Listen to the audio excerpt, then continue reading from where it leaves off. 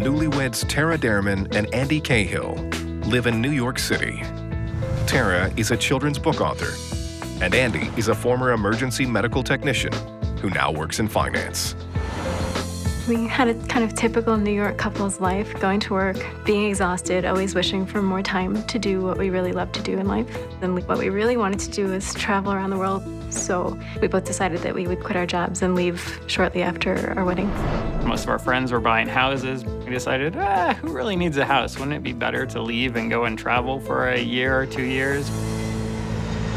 So Tara and Andy put their careers on hold and head south. We went clockwise around South America and then back up through Central America. There's so much to see out there.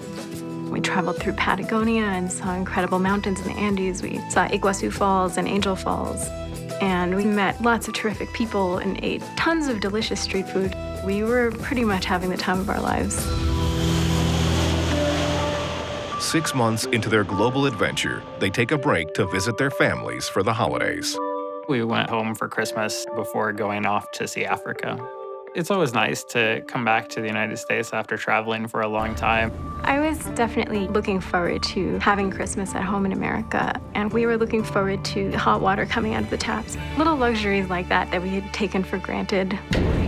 But among all the comforts of home, something unexpected is awaiting this adventurous pair. It's the week before Christmas, and the couple is visiting family at Andy's mother's home in Terre Haute, Indiana. We were really excited to reunite with everyone, and suddenly I just get this strange pain on my scalp underneath my hair. It just lasted for a second or two, and then it went away, so I didn't think too much about it. But later that night, the pain returns. We're getting ready for bed, and I feel the stabbing pain again. This time, it felt kind of like this hot needle was stabbing me there. I wondered if possibly I might have picked up head lice. Head lice are parasites that feed on human blood. They are usually transmitted through direct contact with the hair of an infected person. I really didn't like this idea very much because I just, I don't like bugs. They freak me out. I asked Andy if he would mind taking a look at my scalp. And I groggily said, okay. I looked, but there weren't any lice that I could see. For Tara, this comes as welcome news. At least then I knew that I didn't have some sort of bug crawling around on my scalp, or else he would have been able to see it. I did feel a little bit relieved. But Andy does discover something else. There were two red bites that looked like they were mosquito bites that were a little inflamed. They were a little red as though they might have been infected, but nothing to be overly concerned about. Everything seemed to be okay, and I quickly fell back asleep.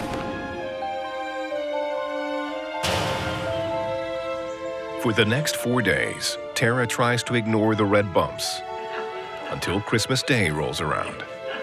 The whole family had gathered for Christmas dinner. And I'm getting the stabbing pain in my head again. I was concerned about what was going on. So when Andy got up to go to the bathroom, I followed him. I grabbed him in the hallway and said, Hey, I'm still getting these stabbing pains in my head. It's getting worse. Can you take another look? Tara leads Andy to the bathroom where he re examines the bites on her scalp. They became slightly larger in size. But during our travels, we got bit all the time by mosquitoes, sometimes by spiders or by ants, which were all fine. So these two small mosquito bites really didn't worry me. But Tara remains troubled. I know that mosquitoes can carry different diseases. So I wondered, could I have some sort of infection in my body, like malaria? Malaria is a parasitic infection of the blood caused by a single-celled parasite called Plasmodium. Transmitted by mosquitoes, the infection affects an estimated 216 million people worldwide each year. When left untreated, it can be fatal. At this, Andy said, What, are you crazy? That's ridiculous. I was bothered that she was spending so much time trying to think about what was causing these two little mosquito bites to hurt. It wasn't that serious. But I suggested maybe you want to use some of the antibiotic pills that we have. Tara spends the rest of Christmas masking her pain from Andy's family.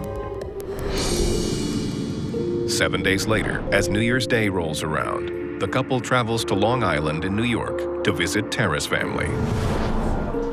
Andy and I are in the living room with my parents. We're watching some TV. I didn't even want there to be a chance that they would notice that something was going on with me. So I just excused myself and said I was really tired from our trip that day, and I went off to bed. Andy was asleep beside me, and the pains were getting so intense that they would actually wake me up. Tara continued to wake up during the night, and when Tara wakes up during the night, she wakes me up during the night, and I don't like anything that wakes me up. So between that and her saying repeatedly that these mosquito bites were really hurting her, I became more annoyed than concerned. I was a little bit annoyed that he wasn't taking me so seriously. I kind of felt like now I really was on my own with this problem, and it's just really starting to ruin my time with my family. The next day, Tara takes matters into her own hands. Since Andy and I didn't have health insurance, it was time for me to start searching the internet.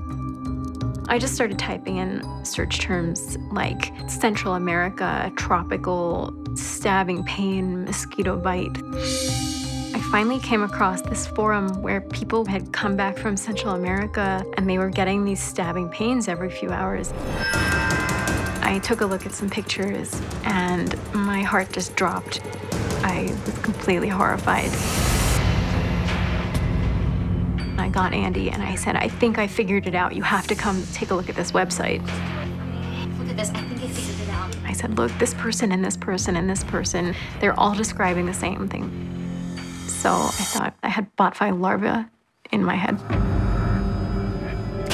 The botfly maggot is a parasite that feeds off its host's flesh. I said, that's crazy. You have a couple of mosquito bites. You don't have bugs in your head. Knowing quite well that she has a fear of bugs, but also fully believing that it made no sense that she could have bugs living in her head. I wanted to prove to him that I wasn't making this up, that I really did have these things in my scalp. So, Tara urges Andy to review the information.